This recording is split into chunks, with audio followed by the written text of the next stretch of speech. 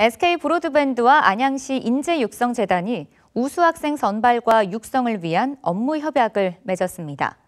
안양시 인재육성재단은 미디어를 활용한 공개 오디션 방식으로 재능 장학생을 선발하며 최종 선발된 200여 명의 학생에게 3억 원 규모의 장학금을 전달할 예정입니다.